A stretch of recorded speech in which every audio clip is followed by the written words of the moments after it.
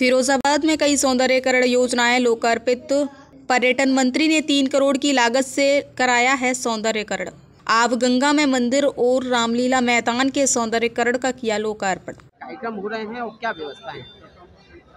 देखिए पूरा देश नहीं पूरी दुनिया के सभी सनातन संस्कृति को मानने वाले लोग 22 तारीख की अलौकिक भव्य दिव्य नव्य इस उत्सव के कार्यक्रम में अपने को साक्षी बनाने के लिए पूरी तरह इंतज़ार कर रहे हैं। बेसब्री से इंतज़ार कर रहे हैं।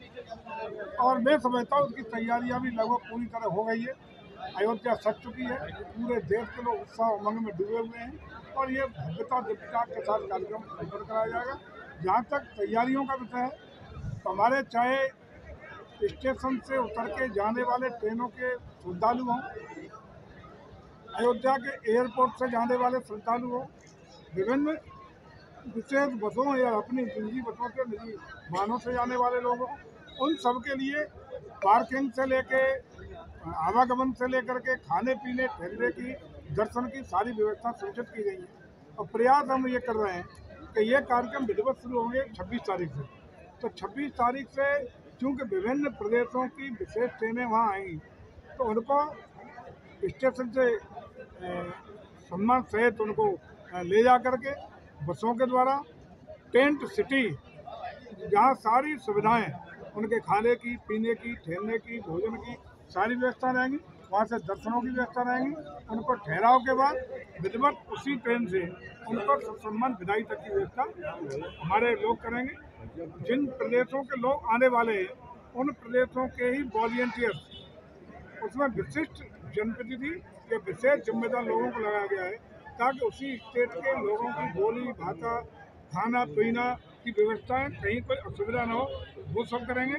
और 26 तारीख के बाद अपने छब्बीस के ही साथ साथ अपने प्रदेश के भी विभिन्न जिलों को अलग अलग तरीके से अलग अलग तिथियों में वह आमंत्रित करके दर्शकों का लाभ दिलाने का काम सर एक अहम सवाल है चारों शंकराचार्य आने में आनाकानी कर रहे हैं सरकार कैसी देख रही है? कोई नहीं ये सब जो विपक्ष के लोग हैं तो तरह तरह की मनगढ़ंत कहानियाँ फैला जाते हैं। कोई विरोध नहीं न कोई आनाकानी है।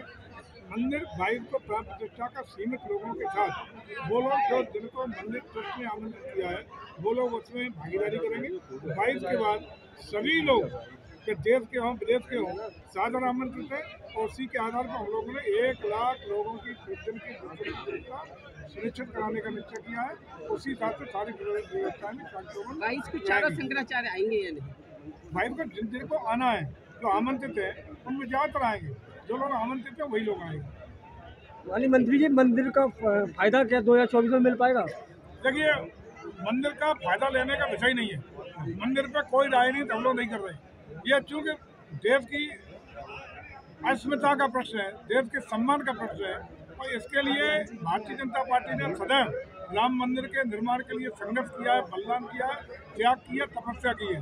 और उसी को आज धरातल पर उतरता हुआ वर्तमान पीढ़ी देख रही है। इससे सुखद सहयोग सनातन परंपरा के मानने वाले लोगों के लिए नहीं हो सकता।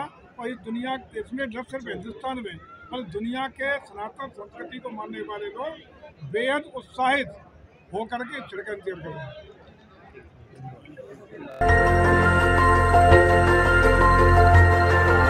देखते रहिए डीबी भारती समाचार।